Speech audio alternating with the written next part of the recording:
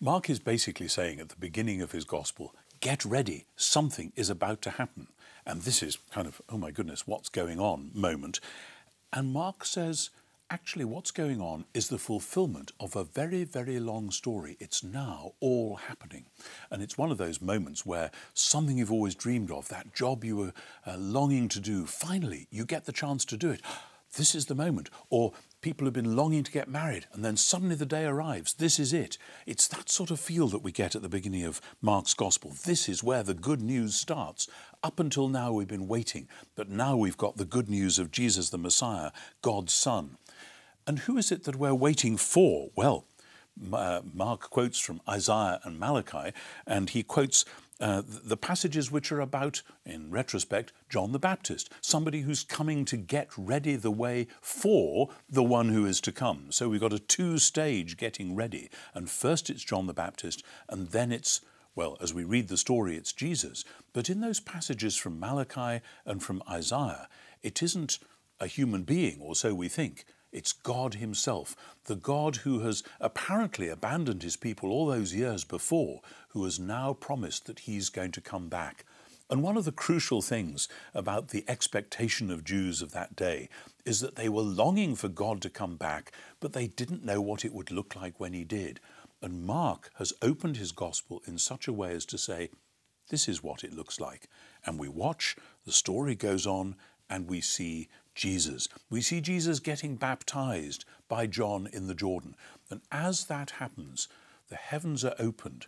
In technical language, this is an apocalyptic moment, a moment when the, the great curtain that separates heaven and earth is ripped aside, and suddenly a much fuller reality is revealed.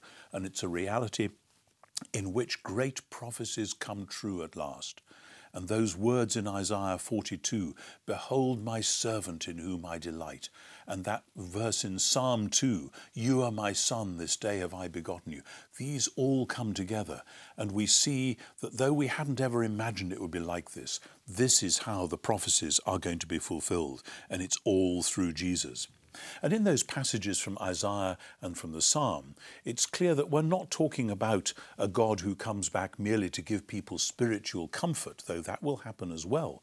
It's about God taking his power and claiming his rights as sovereign over the world, over the nations. You might want to read Psalm 2 or Isaiah 42 as a whole, and you'll see this is about God becoming king over all the nations and kingdoms of the earth. And somehow Mark is saying, as you read this story, as you prepare for the whole of this gospel, that's what we have to be thinking. This is how God becomes king in and through Jesus. And so it goes on. Jesus goes off into the desert to be apparently tested, to be there with the wild beasts, and then he comes back and starts calling followers. This is the beginning of a movement.